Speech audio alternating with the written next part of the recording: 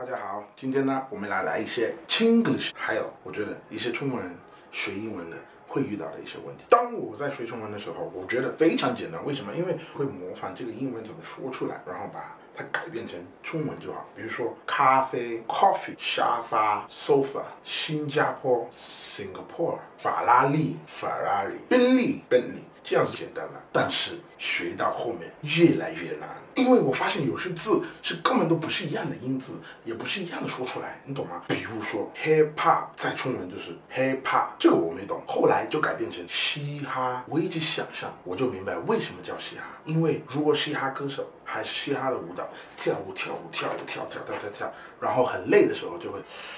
哈就是嘻哈，但是还有一些东西我还没有看到，比如说 audience 奥迪淹死，tomato 他妈的，嗯，ambulance 我不能死，为什么会变成这样子？因为有些学生呢，会为了去把这个字记住的时候，会把英文的词改成中文，但是翻译出来完全都不是一样的意思。比如说 town town town town town town town。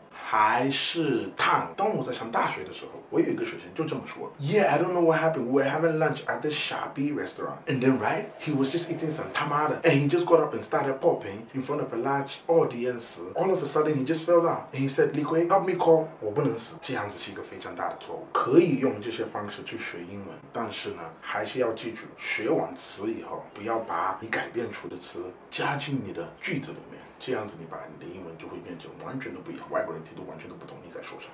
多多关注奎哥，下次见，把里面的英文学好。有问题在评论里面跟我说，Love you。